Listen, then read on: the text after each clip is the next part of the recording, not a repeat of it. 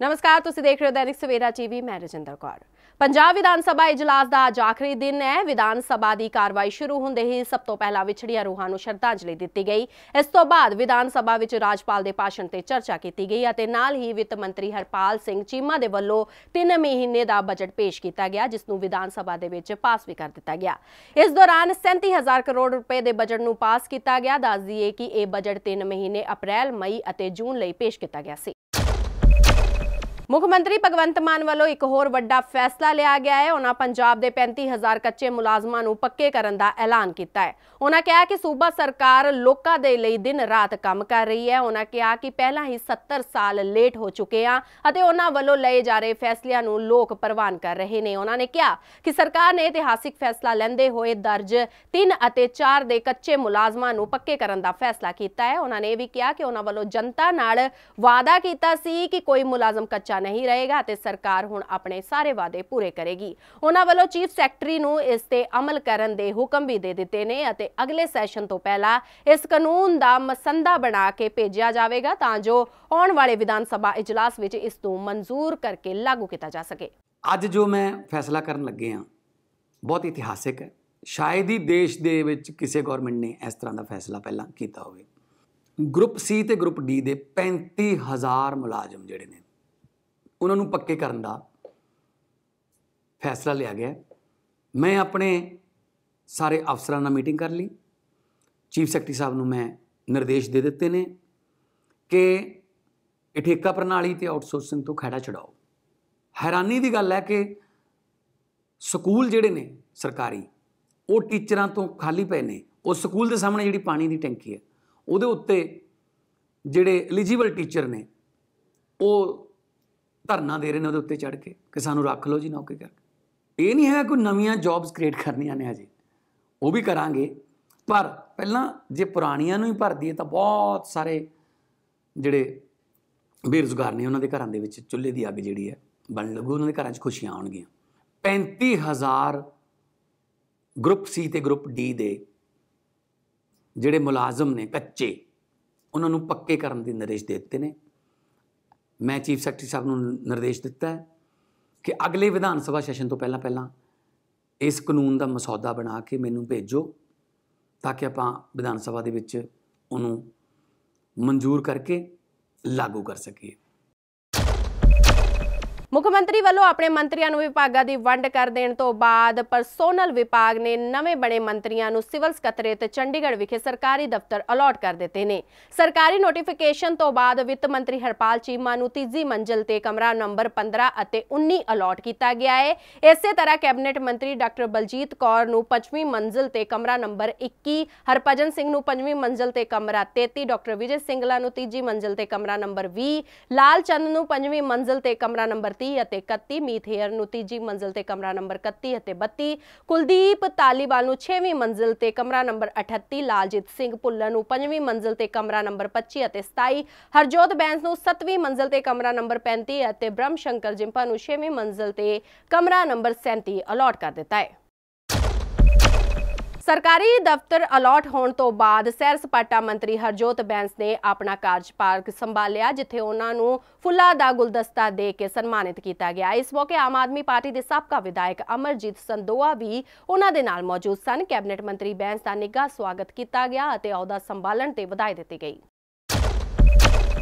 ਇਸੇ ਤਰ੍ਹਾਂ ਵਿੱਤ ਮੰਤਰੀ ਹਰਪਾਲ ਚੀਮਾ ਵੱਲੋਂ ਆਪਣਾ ਅਹੁਦਾ ਸੰਭਾਲਿਆ ਗਿਆ, ਜਿੱਥੇ ਅਧਿਕਾਰੀਆਂ ਨੇ ਬੂਕੇ ਤੇ ਉਹਨਾਂ ਨੂੰ ਸਨਮਾਨਿਤ ਕੀਤਾ ਗਿਆ ਅਤੇ ਵਧਾਈ ਵੀ ਦਿੱਤੀ। ਇਸ ਮੌਕੇ ਵੱਡੀ ਗਿਣਤੀ ਵਿੱਚ ਅਧਿਕਾਰੀ ਮੌਜੂਦ ਸਨ ਅਤੇ ਉਹਨਾਂ ਵੱਲੋਂ ਨਵੇਂ ਬਣੇ ਵਿੱਤ ਮੰਤਰੀ ਦਾ ਮੂੰਹ ਵੀ ਮਿੱਠਾ ਕਰਵਾਇਆ ਗਿਆ। ਇਸ ਦੌਰਾਨ ਵਿੱਤ ਮੰਤਰੀ ਨੇ ਕਿਹਾ ਕਿ ਸਰਕਾਰ ਦੇ ਖਾਲੀ ਪਏ ਖਜ਼ਾਨੇ ਨੂੰ ਭਰਿਆ ਜਾਵੇਗਾ। ਇਸ ਤੋਂ ਪਹਿਲਾਂ ਮਾਫੀਆ ਦੇ ਜ਼ਰੀਏ ਖਜ਼ਾਨੇ ਨੂੰ ਲੁੱਟਿਆ ਜਾ ਰਿਹਾ ਸੀ। ਇਸ ਵਾਰ ਇਮਾਨਦਾਰ ਲੋਕਾਂ ਦੀ ਸਰਕਾਰ ਆਈ ਹੈ ਅਤੇ ਇਮਾਨਦਾਰੀ ਨਾਲ ਕੰਮ ਕੀਤਾ ਜਾਵੇਗਾ। ਲੋਕਾਂ ਨੂੰ ਵਧੀਆ ਸਿਹਤ ਸਹੂਲਤਾਂ ਤੇ ਚੰਗੀ ਸਿੱਖਿਆ ਦਿੱਤੀ ਜਾਵੇਗੀ। ਉਹਨਾਂ ਕਿਹਾ ਕਿ ਇਮਾਨਦਾਰੀ ਨਾਲ ਕੰਮ ਕਰਦੇ ਹੋਏ ਸਰਕਾਰੀ ਖਜ਼ਾਨਾ ਵੀ ਭਰਿਆ ਜਾਵੇਗਾ ਤੇ ਆਮ ਆਦਮੀ ਪਾਰਟੀ ਵੱਲੋਂ ਦਿੱਤੀਆਂ ਗਰੰਟੀਆਂ ਨੂੰ ਵੀ ਪੂਰਾ ਕੀਤਾ ਜਾਵੇਗਾ। ਬਿਲਕੁਲ ਖਜ਼ਾਨਾ ਭਰਾਂਗੇ ਜੀ।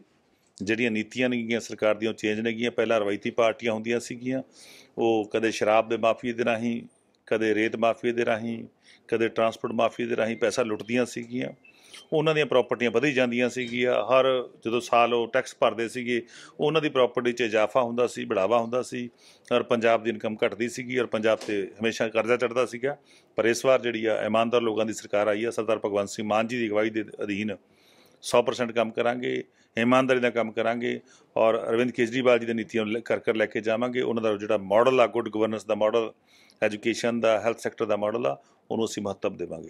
ਸਰ ਪੰਜਾਬ ਦੇ ਉੱਤੇ ਲਗਭਗ 3 ਲੱਖ ਕਰੋੜ ਦਾ ਕਰਜ਼ਾ ਹੈਗਾ ਔਰ ਐਸੀ ਇਨਸਟਾਲਮੈਂਟ ਵੀ ਜਿਹੜੀ ਆ ਉਸ ਕਰਜ਼ੇ ਦੀ ਨਹੀਂ ਦੇ ਪਾ ਰਹੇ ਔਰ ਦੂਜੇ ਪਾਸੇ ਐਸੀ ਬਹੁਤ ਸਾਰੀਆਂ ਗਰੰਟੀਆਂ ਦੇ ਕੇ ਲੋਕਾਂ ਨੂੰ ਗਰੰਟੀਆਂ ਦੇ ਕੇ ਇਸ ਸੀਟ ਤੇ ਪਹੁੰਚੇ ਆ। ਤੁਹਾਨੂੰ ਕੀ ਲੱਗਦਾ ਵੀ ਇਹ ਤਾਲਮੇਲ ਬੈਠ ਜਾਊਗਾ ਵੀ ਇੱਕ ਪਾਸੇ ਖਜ਼ਾਨਾ ਭਰ ਜੇ ਦੂਜੇ ਪਾਸੇ ਸਾਰੀਆਂ ਗਰੰਟੀਆਂ ਜਿਹੜੀਆਂ ਉਹ ਲਾਗੂ ਹੋ ਜਾਣ? ਗਰੰਟੀਆਂ ਵੀ ਲਾਗੂ ਹੋਣਗੀਆਂ ਖਜ਼ਾਨਾ ਵੀ ਭਰਾਂਗੇ। ਇਮਾਨਦਾਰ ਲੋਕਾਂ ਦੀ ਸਰਕਾਰ ਆਈ ਆ ਬੇਈਮਾਨ ਲੋਕ ਗਏ ਨੇ ਮੈਂ ਬਾਰ-ਬਾਰ ਕਹਿ ਰਿਹਾ ਹਾਂ ਖਜ਼ਾਨਾ ਵੀ ਭਰਿਆ ਜਾਊਗਾ ਔਰ ਗਰੰਟੀਆਂ ਵੀ ਲਾਗੂ ਹੋਣਗੀਆਂ। ਇਹ ਕੀ ਆਪਾਂ ਮਾਫੀਆ ਰਾਜ ਖਤਮ ਕਰਕੇ ਉਸ ਦਾ ਨਾਲ ਜਿਹੜਾ ਖਜ਼ਾਨੇ ਦਾ ਲੋਸ ਹੋ ਰਿਹਾ ਸੀਗਾ ਉਸ ਤੁਸੀਂ ਉਹ ਸੋਚ ਰਹੇ ਹੋ ਵੀ ਉਸ ਦੇ ਥਰੂ ਖਜ਼ਾਨੇ ਚ ਜਿਹੜੀ ਜਿਹੜੀ ਬੇਲੋੜੀ ਖਰਚੀ ਆ ਉਹ ਬੰਦ ਕਰਾਂਗੇ। ਜਿਹੜਾ ਪੈਸਾ ਲੁੱਟਿਆ ਜਾ ਰਿਹਾ ਸੀ ਲੋਕ ਦੇ ਰਹੇ ਸੀ ਟੈਕਸ ਪੇਅਰ ਉਹ ਖਜ਼ਾਨੇ 'ਚ ਪਹੁੰਚੂਗਾ। ਇਹਦੇ ਲਈ ਸਾਰੇ ਆਫੀਸਰ ਸਾਹਿਬਾਨ ਨਾਲ ਮੇਰੀਆਂ ਮੀਟਿੰਗਾਂ ਹੋ ਰਹੀਆਂ ਨੇਗੀਆਂ। ਬੜੀ ਜਲਦੀ ਜਿਹੜਾ ਹੈਗਾ ਤੁਹਾਨੂੰ ਦੱਸਾਂਗੇ ਕਿੱਥੋਂ ਕਿੱਥੋਂ ਪੈਸਾ ਆ ਰਿਹਾ ਕਿੱਥੋਂ ਕਿੱਥੋਂ ਮਾਲੀਆ ਜਿਹੜਾ ਵਧੂਗਾ। ਇਸ ਤੋਂ ਇਲਾਵਾ ਸਿੱਖਿਆ ਮੰਤਰੀ ਮੀਤ ਹੇਅਰ ਵੱਲੋਂ ਆਪਣਾ ਅਹੁਦਾ ਸੰਭਾਲਿਆ ਗਿਆ, ਜਿਨ੍ਹਾਂ ਨੂੰ ਵਿਧਾਇਕ ਅਤੇ ਅਧਿਕਾਰੀਆਂ ਦੇ ਵੱਲੋਂ ਉਹਨਾਂ ਨੂੰ ਵਧਾਈ ਦਿੱਤੀ ਗਈ। ਅਹੁਦਾ ਸੰਭਾਲਣ ਤੇ ਉਹਨਾਂ ਨੂੰ ਫੁੱਲਾਂ ਦੇ ਗੁਲਦਸਤੇ ਦੇ ਕੇ ਸਨਮਾਨਿਤ ਕੀਤਾ ਗਿਆ। ਇਸ ਮੌਕੇ ਮੀਤ ਹੇਅਰ ਨੇ ਆਪਣੀ ਡਿਊਟੀ ਇਮਾਨਦਾਰੀ ਦੇ ਨਾਲ ਕਰਨ ਦਾ ਭਰੋਸਾ ਦਿਵਾਇਆ ਅਤੇ ਕਿਹਾ ਕਿ ਸਿੱਖਿਆ ਦੇ ਖੇਤਰ ਵਿੱਚ ਸੂਬੇ ਨੂੰ ਤਰੱਕੀ ਤੇ ਲਿਜਾਇਆ ਜਾਵੇਗਾ। ਵਿਧਾਨ ਸਭਾ ਦੇ ਨਵੇਂ ਬਣੇ ਸਪੀਕਰ ਕੁਲਤਾਰ ਸਿੰਘ ਸੰਧਵਾ ਨੇ ਦੱਸਿਆ ਕਿ ਅੱਜ ਦੇ ਸੈਸ਼ਨ ਬਹੁਤ ਹੀ ਜ਼ਿਆਦਾ ਵਧੀਆ ਤਰੀਕੇ ਦੇ ਨਾਲ ਨੇਪਰੇ ਚੜਿਆ ਹੈ। ਉਹਨਾਂ ਨੇ ਕਿਹਾ ਕਿ ਅੱਜ ਦਾ ਸੈਸ਼ਨ ਹਰ ਪੱਖੋਂ ਤਸੱਲੀ ਬਖਸ਼ ਹੋਇਆ ਹੈ। ਵਿਰੋਧੀ ਧਿਰ ਵੱਲੋਂ ਵੀ ਪੂਰਾ ਸਾਥ ਦਿੱਤਾ ਗਿਆ ਹੈ। ਉਹਨਾਂ ਨੇ ਕਿਹਾ ਕਿ ਵਿਧਾਨ ਸਭਾ ਸੈਸ਼ਨ ਦੀ ਸੀਟਿੰਗ ਦੀ ਵਧਾਈ ਜਾਵੇਗੀ ਤਾਂ ਜੋ ਪੰਜਾਬ ਦੇ ਮੁੱਦਿਆਂ ਨੂੰ ਚੰਗੀ ਤਰ੍ਹਾਂ ਚੁੱਕਿਆ ਜਾ ਸਕੇ। ਉਹਨਾਂ ਨੇ ਕਿਹਾ ਕਿ ਵਿਰੋਧੀ ਧਿਰ ਨੂੰ ਵੀ ਆਪਣੀ ਗੱਲ ਰੱਖਣ ਦਾ ਪੂਰਾ ਮੌਕਾ ਦਿੱਤਾ ਜਾਵੇਗਾ। ਬਹੁਤ ਵਧੀਆ ਰਿਹਾ ਜੀ ਔਰ ਲਗਭਗ ਸਾਰੀਆਂ ਹੀ ਸਾਡੀ ਟ੍ਰੈਜਰੀ ਬੈਂਚਸ ਵੱਲੋਂ ਆਪੋਜੀਸ਼ਨ ਬੈਂਚਸ ਵੱਲੋਂ ਵੀ ਪ੍ਰੋਪਰ ਕੋਆਪਰੇਸ਼ਨ ਮਿਲੀ ਹੈ। ਔਰ ਠੀਕ ਉੱਥੇ ਜਿੰਨੀ ਵੀ ਡਿਸਕਸ਼ਨ ਹੋਈ ਹੈ ਉਹ ਬੜੇ ਵਧੀਆ ਮਾਹੌਲ ਦੇ ਵਿੱਚ ਹੋਈ ਹੈ। ਮੈਂ ਸੈਟੀਸਫਾਈਡ ਹਾਂ। ਹੁਣ ਪੰਜਾਬ ਦੀ ਜਨਤਾ ਜਾਂ ਸਾਡੇ ਵਿਧਾਇਕ ਸਾਹਿਬਾਨ ਸਾਰਿਆਂ ਉਹਨਾਂ ਨੇ ਦੱਸਣਾ ਵੀ ਉਹਨਾਂ ਨੂੰ ਕਿਸ ਤਰ੍ਹਾਂ ਲੱਗਿਆ। ਸਪੀਕਰ ਸਾਹਿਬ ਇਹ ਕਾਰਵਾਈ ਕੀ ਰਹੀ ਹੈ ਅੱਜ ਦੇ ਦਿਨ ਦੀ? ਖਾਸ ਜੇ ਅਸੀਂ ਤੁਹਾਡੇ ਤੋਂ ਜਾਨਣਾ ਚਾਹੀਏ ਸਮ ਅਪ ਕੀ ਕਾਰਵਾਈ ਰਹੀ ਹੈ ਸਾਰੀ? ਤੇ ਹੁਣ ਗਾਂ ਪੋਸਟਪੋਨ ਅਗਲੇ ਸੈਸ਼ਨ ਦੀ ਤਿਆਰੀਆਂ ਹਜੇ ਥੋੜੀਆਂ ਦੂਰ ਹੀ ਹੈਗੀਆਂ ਨੇ ਪਰ ਅੱਜ ਦੇ ਸੈਸ਼ਨ ਦੀ ਕਾਰਵਾਈ ਕੀ ਰਹੀ ਹੈ ਮੁਕੰਮਲ ਅੱਜ ਦੇ ਸੈਸ਼ਨ ਦੇ ਵਿੱਚ ਆਬਿਚਰੀ ਸੀ ਔਰ ਉਸ ਤੋਂ ਬਾਅਦ ਜਿਹੜੇ ਮਾਨਯੋਗ ਗਵਰਨਰ ਸਾਹਿਬ ਦਾ ਜਿਹੜਾ ਭਾਸ਼ਣ ਹੈ ਉਹਨੂੰ ਅਗਲੇ ਸੈਸ਼ਨ ਤੱਕ ਮੁਲਤਵੀ ਕਰ ਦਿੱਤਾ ਗਿਆ। ਉਹ ਮਤਲਬ ਉਹਦਾ ਸਰਕਾਰ ਦੇ ਮਨ ਦੇ ਵਿੱਚ ਇੱਕ ਇਹ ਗੱਲ ਸੀ ਜਿਹੜਾ ਕਿ ਉੱਥੇ ਰੱਖੀ ਗਈ ਹੈ ਪਟਲ ਦੇ ਉੱਤੇ ਕਿ ਜਿਹੜੇ ਸਾਡੇ ਵਿਧਾਇਕ ਨਵੇਂ ਨੇ ਉਹ ਸਾਰਿਆਂ ਨੂੰ ਸ਼ੌਂਕ ਹੈ। ਵੀ ਅਸੀਂ ਪ੍ਰੋਪਰਲੀ ਤਿਆਰੀ ਕਰਕੇ ਬੋਲੀਏ। ਸੋ ਸਮਾਂ ਤਾਂ ਹੈ ਨਹੀਂ ਸੀ ਪੜਨ ਦਾ ਤੇ ਸਾਰੇ ਬੋਲਣਾ ਚਾਹੁੰਦੇ ਨੇ। ਸੋ ਇਸ ਕਰਕੇ ਉਹਨੂੰ ਅਗਲੇ ਸੈਸ਼ਨ ਤੇ ਪਾਤਾ ਗਿਆ ਔਰ ਆਪੋਜੀਸ਼ਨ ਨੇ ਵੀ ਇਹਦੇ ਨਾਲ ਸਹਿਮਤੀ ਪ੍ਰਗਟ ਕੀਤੀ ਹੈ। ਸਾਰਾ ਸਰਬਸੰਮਤੀ ਨਾਲ ਹੀ ਪਾਸ ਹੋਇਆ ਜੀ। ਇਹ ਬਿਲਕੁਲ ਠੀਕ ਗੱਲ ਹੈਗੀ ਹੈ। ਨਵੇਂ ਐਮਐਲਏਸ ਦੇ ਵਿੱਚ ਸ਼ੌਂਕ ਅਸੀਂ ਵੀ ਦੇਖਿਆ ਕਿ ਉਹ ਆਪਣੀ ਗੱਲ ਰੱਖਣਾ ਚਾਹੁੰਦੇ ਨੇ, ਗੱਲ ਕਰਨਾ ਚਾਹੁੰਦੇ ਨੇ। ਮੇਡਨ ਸਪੀਚ ਹਰ ਐਮਐਲਏ ਲਈ ਬੜੀ ਇੰਪੋਰਟੈਂਟ ਹੁੰਦੀ ਹੈ। ਤੁਹਾਨੂੰ ਲੱਗਦਾ ਕਿ ਸਪੀਕਰ ਸਾਹਿਬ ਕਿਸੇ ਤਰ੍ਹਾਂ ਦੀ ਟ੍ਰੇਨਿੰਗ ਦੀ ਜ਼ਰੂਰਤ ਹੈਗੀ ਹੈ ਕਿਉਂਕਿ ਨਵੇਂ ਐਮਐਲਏ ਕਈ ਵਾਰੀ ਆਉਂਦੇ ਨੇ ਥੋੜੀ ਜੀ ਹੈਜ਼ਿਟੇਸ਼ਨ ਹੁੰਦੀ ਹੈ ਗੱਲ ਰੱਖਣ ਦੇ ਵਿੱਚ ਜਦੋਂ ਸਪੀਚ ਕਰਨੀ ਹੁੰਦੀ ਕਈ ਵਾਰੀ ਥੋੜਾ ਫੰਬਲ ਹੁੰਦਾ ਜਾਂ ਥੋੜਾ ਹੈਜ਼ਿਟੇਟ ਹੁੰਦਾ। ਇਸ ਤਰ੍ਹਾਂ ਦੀ ਤੁਹਾਨੂੰ ਲੱਗਦਾ ਕਿ ਜ਼ਰੂਰਤ ਹੈਗੀ ਹੈ ਤੁਹਾਡੇ ਐਮਐਲਏ ਸਭ ਤੋਂ ਜ਼ਿਆਦਾ ਤੇ ਫਸਟ ਟਾਈਮਰ ਤੁਹਾਡੇ ਕੋਲੇ ਨੇ? ਦੇਖੋ ਜੀ ਜਿੱਥੋਂ ਤੱਕ ਓਰੇਸ਼ਨ ਦੀ ਗੱਲ ਆ ਜਾਂ ਬੋਲਣ ਦੀ ਗੱਲ ਆ ਜਿੰਨੇ ਵੀ ਨਵੇਂ ਐਮਐਲਏ ਬੋਲੇ ਬੜੇ ਵਧੀਆ ਤਰੀਕੇ ਨਾਲ ਬੋਲੇ ਸਾਰੇ। ਹਾਂ ਕੁਝ ਪ੍ਰੋਸੀਜਰਸ ਹੁੰਦੇ ਨੇ ਜਿਹੜੇ ਜਿਵੇਂ ਬਿਜ਼ਨਸ ਕਿਵੇਂ ਕੰਡਕਟ ਹੋਣਾ ਹੈ ਵਿਧਾਨ ਸਭਾ ਦਾ। ਉਹਦੇ ਲਈ ਇੱਕ ਟ੍ਰੇਨਿੰਗ ਜਿਹੜੀ ਜ਼ਰੂਰ ਅਸੀਂ ਪਲਾਨ ਕੀਤੀ ਹੈ ਔਰ ਮੈਂ ਇਨੀਸ਼ੀਏਟ ਕਰ ਦਿੰਦਾ ਉਹਦੀ ਕਾਰਵਾਈ ਤੇ ਜਿਹੜਾ ਨੈਕਸਟ ਸੈਸ਼ਨ ਹੈ ਉਸ ਤੋਂ ਪਹਿਲਾਂ ਇੱਕ ਟ੍ਰੇਨਿੰਗ ਜ਼ਰੂਰ ਇਹਨਾਂ ਨੂੰ ਅਸੀਂ ਸਾਡੇ ਜਿਹੜੇ ਸਾਡੇ ਵਿਧਾਇਕ ਸਭਾ ਉਹਨਾਂ ਨੂੰ ਦਵਾਵਾਂਗੇ।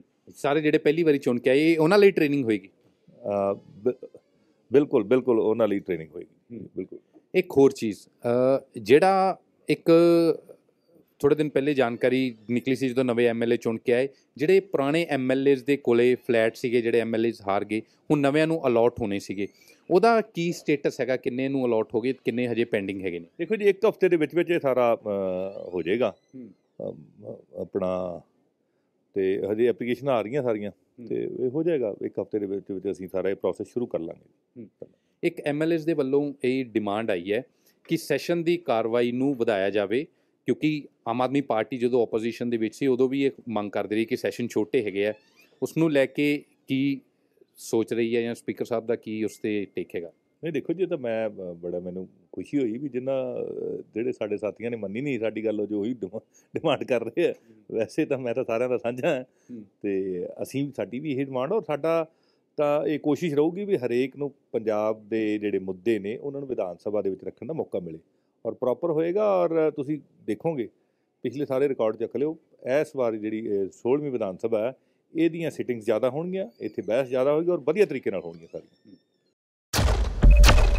ਨਸ਼ਾ ਦੇ ਮਾਮਲੇ ਵਿੱਚ ਫਸੇ ਸਾਬਕਾ ਮੰਤਰੀ ਅਤੇ ਅਕਾਲੀ ਦਲ ਦੇ ਸੀਨੀਅਰ ਆਗੂ ਬਿਕਰਮ ਸਿੰਘ ਮਜੀਠੀਆ ਦੀ ਅੱਜ ਮੋਹਾਲੀ ਦੀ ਅਦਾਲਤ ਦੇ ਵਿੱਚ ਵੀਡੀਓ ਕਾਨਫਰੰਸਿੰਗ ਦੇ ਜ਼ਰੀਏ ਪੇਸ਼ੀ ਹੋਈ, ਜਿੱਥੇ ਉਹਨਾਂ ਨੂੰ ਕੋਈ ਰਾਹਤ ਨਹੀਂ ਮਿਲੀ ਹੈ। ਕੇਸ ਦੀ ਸੁਣਵਾਈ ਦੌਰਾਨ ਅਦਾਲਤ ਦੇ ਵੱਲੋਂ ਬਿਕਰਮ ਮਜੀਠੀਆ ਦੀ ਨਿਆਇਕ ਹਿਰਾਸਤ ਵਿੱਚ 5 ਅਪ੍ਰੈਲ ਤੱਕ ਵਾਅਦਾ ਕਰਨ ਦੇ ਹੁਕਮ ਜਾਰੀ ਕੀਤੇ ਨੇ। ਦੱਸ ਦਈਏ ਕਿ ਬਿਕਰਮ ਮਜੀਠੀਆ ਦੇ ਖਿਲਾਫ ਡਰੱਗ ਤਸਕਰਾਂ ਦੀ ਮਦਦ ਕਰਨ ਅਤੇ ਸੂਬੇ ਵਿੱਚ ਨਸ਼ਾ ਵੇਚਣ ਦੇ ਦੋਸ਼ ਲੱਗੇ ਸਨ, ਜਿਸ ਦੇ ਆਧਾਰ ਤੇ ਮਜੀਠੀਆ ਦੇ ਖਿਲਾਫ ਅਦਾਲਤ ਵਿੱਚ ਕੇਸ ਦਰਜ ਕੀਤਾ ਗਿਆ ਸੀ, ਜਦਕਿ ਚੰਨੀ ਸਰਕਾਰ ਵੱਲੋਂ ਮਜੀਠੀਆ ਨੂੰ ਗ੍ਰਿਫਤਾਰ ਕਰ ਲਿਆ ਗਿਆ ਸੀ, ਇਸ ਦੀ ਵੀ ਜਾਂਚ ਲਗਾਤਾਰ ਜਾਰੀ ਹੈ। ਇਹ ਸਨ ਹੁਣ ਤੱਕ ਦੇ ਕੁਝ ਖਾਸ ਖਬਰਾਂ, ਵਧੇਰੇ ਜਾਣਕਾਰੀ ਲਈ ਜੁੜੇ ਰਹੋ ਦੈਨਿਕ ਸਵੇਰਾ ਟੀਵੀ ਦੇ ਨਾਲ ਤੇ ਜਾਂਦੇ ਜਾਂਦੇ ਇੱਕ ਨਜ਼ਰ ਪਾ ਲੈਣੇ ਅੱਜ ਦੀਆਂ ਖਾਸ ਖਬਰਾਂ ਦੇ। ਵਿਧਾਨ ਸਭਾ 'ਚ 3 ਮਹੀਨੇ ਦਾ ਬਜਟ ਪੇਸ਼ 37000 ਕਰੋੜ ਦੇ ਬਜਟ ਨੂੰ ਮਿਲੀ ਮਨਜ਼ੂਰੀ। ਮੁੱਖ ਮੰਤਰੀ ਭਗਵੰਤ ਮਾਨ ਵੱਲੋਂ ਇੱਕ ਹੋਰ ਵੱਡਾ ਫੈਸਲਾ 35000 ਕੱਚੇ ਮੁਲਾਜ਼ਮ ਪੱਕੇ ਕਰਨ ਦਾ ਐਲਾਨ।